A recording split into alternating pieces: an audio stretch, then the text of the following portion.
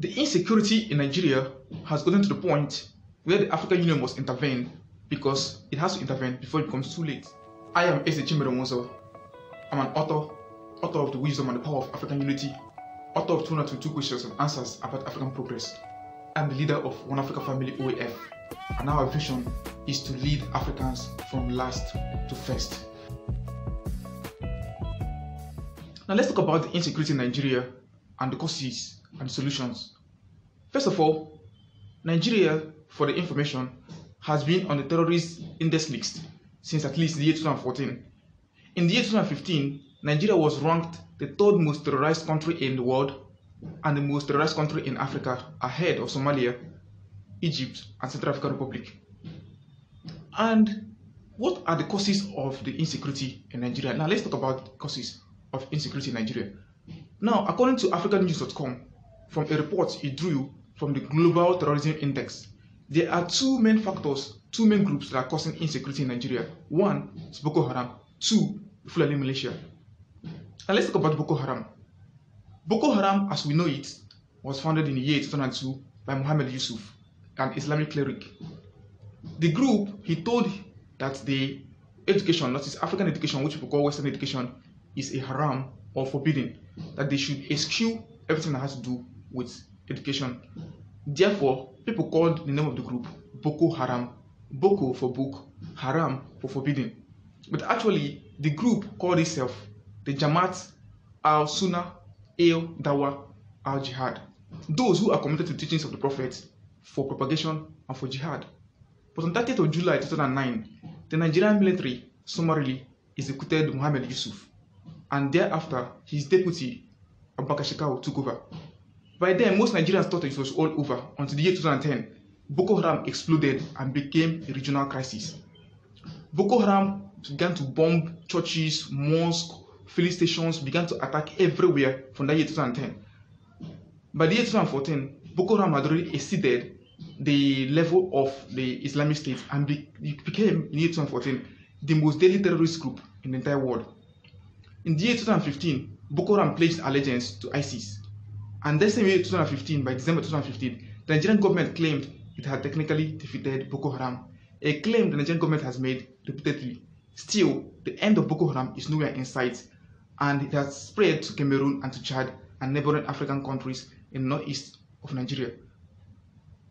Now, let's also talk about the Fulani militia. The Fulani issue has been in existence for decades but became worse about six, seven years ago. The Fulani herdsmen have been killing.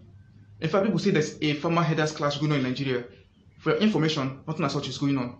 It is the Fulani militia going to people's farms to kill them, to rape them, to destroy farms. They've destroyed farms worth each like 500 million naira worth of farm, cocoa farm. They destroy everything. They take their cattle to people's cassava farms or put the cassava and give to their cattle to feed on.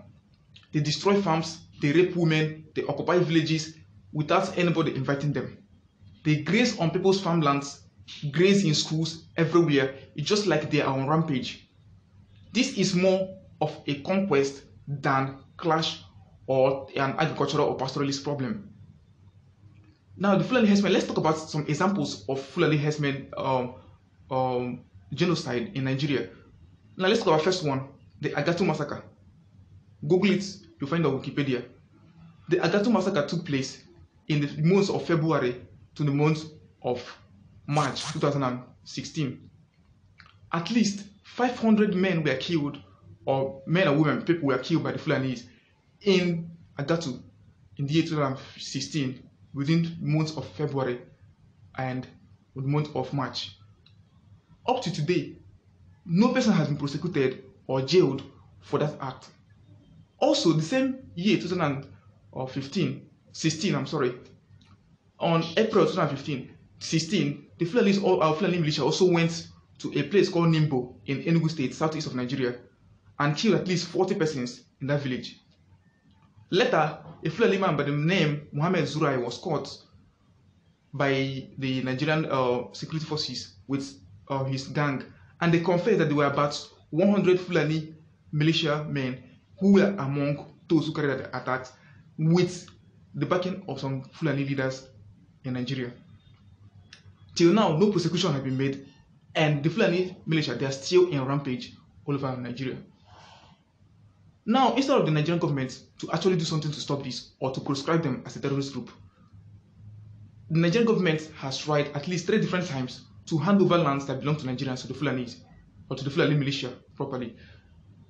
In the year 2016, there was the cattle grazing bill. The year 2018, there was the cattle colony bill. And the year 2019, there was RUGA. These are three policies through which the Nigerian government has tried to give the lands that belong to the indigenous people of Nigeria to the Fulani militia. Also, in the year 2018, the Nigerian presidency, through one of the spokesperson, Femi Adesina, told Nigerian people to give up their lands to the Fulani militia or else they risk being killed, that there was no point holding on to the lands and losing our lives. Also, the Fulani groups have also been speaking. For example, the Fulani Nationalist or National Movement, FUNAM, made a statement in the year 2018 that they were going to call all Fulanis from all across Africa to come into Nigeria and take over the entire lands, that the Nigerian land belongs to them. That they claimed responsibility for the attacks that have been going on uh, across Nigeria and that they were well deserved. Also, another group named Miyetti Allah Cattle Breeders Association of Nigeria, which is a socio-cultural group that connects all Fulani headers across Nigeria, also made a statement in the year 2018 that they were responsible for the attack that killed at least 100 persons in Plateau State in Nigeria. The Fulani headers issue has become a very big issue in Nigeria. In the year 2019, CNN ranked them to be six times more deadly than Boko Haram.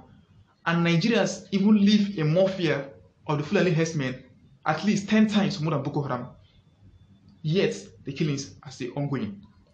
Because of the body language of the Nigerian government, who seems to be on the side of the Fulani herdsmen, who actually apprehend those who fight the Fulani herdsmen who go to people's farmland to graze, instead of arresting those Fulani herdsmen who do, who do such. Because of that, different groups in Nigeria have formed their militia to protect themselves. For example, we have the Eastern Security Network, ESN, in Eastern Nigeria formed by Mazi Nnamdi Kanu, leader of the indigenous of Biafra, an organization that is fighting to break away from Nigeria. In the western part of Nigeria, there is this uh, Western Security Network, also known as Amotekun, and there is also one Sunday Igboho, who is also leading the campaign to chase out the violent headers from the southwest region of Nigeria. Now, the crisis is still ongoing, and we expect something to be done about that. Now, let's talk about the recommendations. What should you do about the Fulani header issues? What should be done? What is the solution? What's the way forward? First of all, the first message goes to the Fulanis. The Fulani ethnic group, also called uh, the Fulbe ethnic group or Pula or Pulani, is one of the largest ethnic groups in Africa, with people in Guinea, Cameroon, but also found in Ghana, in Guinea, and all across Africa, even Burkina Faso. Every Fulani man should rise up and condemn what the Fulani herdsmen are doing in Nigeria. That is how people know that it is not a Fulani issue, but a set of people from the Fulanis are committing the crime. Because even the Sultan of Sokoto, who happens to be a Fulani man, also admits that at least 7 to 8 out of 10 kidnappers in Nigeria are of the Fulani ethnic group. And that is not a good record. All Fulani should, should wake up or rise up and condemn what the Fulani militia they are doing. That is how they, uh, they will uh, exonerate themselves from what the Fulani herdsmen are doing. They should say that what these people are doing is wrong and ask them to leave all the forests or the reserve areas that they have occupied. And they should make uh, a great apology to the people of Nigeria for all the crimes that the Fulani herdsmen have been committing and make adequate compensation. Two, the African Union should step in immediately before this thing become a regional crisis. The African Union should enforce and ban and enforce um, the ban on uh, open grazing because most of these people who carry out these attacks come under the pretext that they are cattle rearers, whereas they are not. It's actually a military group to take over lands that belong to indigenous people in Nigeria. The African Union should make sure that the Fulani herdsmen compensate those who farmlands they have destroyed. Many people have been rendered homeless, many people have been rendered without farms, and this is not just a security issue now, it's also a cause for food insecurity in Nigeria because many farmlands have been destroyed. Farmlands worth billions of naira, hundreds of millions of dollars have been destroyed by these headers the people that belong that own these farms must be compensated for their farmlands. Also, the African Union should mandate the Fulani herders, those who want to continue herding. There's nothing wrong with being a Fulani uh, but if you want to be a herder, use your money and buy a ranch and cattle for your farm, your cattle in the in the ranch. You buy it with your own money because other Nigerians, those who are traders, those who are uh, mechanics, those who are teachers, those who are school owners, nobody gave them the money to start their business, or nobody gave them free land. The government didn't give them anything to start their businesses. They had to raise their money themselves. So any Fulani herdsman must use his own money and purchase a ranch for himself. Nobody should take his cattle to another person's farmland. That is trespassing. Except if I invite you to my farmland and I'll tell you how much you're going to pay me annually or monthly. If you accept, you bring your cattle to my farmland and farm there. Then you pay me. Apart from that, that is trespassing.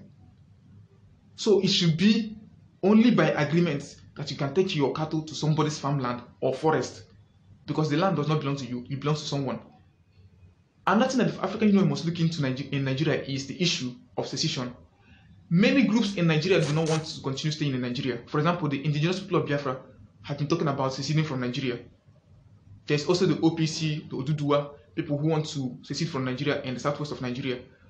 And we as African people should determine for ourselves the country we want to belong to. Because Nigeria, as we know, it was created by the British in the year 1914. And no man can come from Europe and decide for Africans the country that we're supposed to live in, in Africa. We have that right to self-determination. And the African Union should look into this issue of self-determination and grant a referendum in Nigeria so that those who want to stay in Nigeria will stay in Nigeria with their whole heart. And those who do not want to stay in Nigeria should go and stay in their own country because it is better to live apart in peace than to live together and there will become war in the country. So these are issues that the African Union should intervene immediately and look into. And this is one of the reasons why we need an African parliament that will be sitting from time to time, at least once in a week, to look into issues going on in Africa instead of depending on the sessions of the African Union heads of states that happen just about twice in a year. The African Union should also have a standard early warning system to allow the African Union of impending crisis in the continent so that it's not when the crisis have already blown up the African Union start looking for how to bring peace. Now the crisis have not yet blown up. Now it is still in its latest stage. The African Union should come immediately and prevent this conflict from becoming an open conflict where there will become a civil war in Nigeria. We don't want that such of situation in Nigeria. The African Union should intervene now to prevent this conflict that is looming over Nigeria. Because they say prevention is better than cure, and a stitch in time saves nine. Failure of the African Union to intervene now, then the African Union would have no other option in the future than to construct refugee camps that are going to contain tens of millions of people because if this header issues is not resolved, if the issue of secession is not resolved peacefully in Nigeria, then I'm sorry to say that there could be a very serious conflict in Nigeria. And we know that Nigeria is the most populous country in the whole of Africa with at least 205 million people living in Nigeria. And with the refugee crisis, it's going to affect the entire African continent. And we also know that Nigeria is the largest economy in Africa, and the destabilization of Nigeria will lead to a destabilization of the entire African continent. The African Union, I call upon you to end this. Thank you for your prompt response. Let's share this video let the relevant authorities get this video.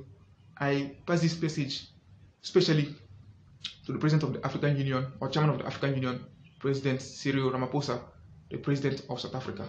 Ah, I am Eze Chimere Nwauzo, your brother in Africa. God bless you.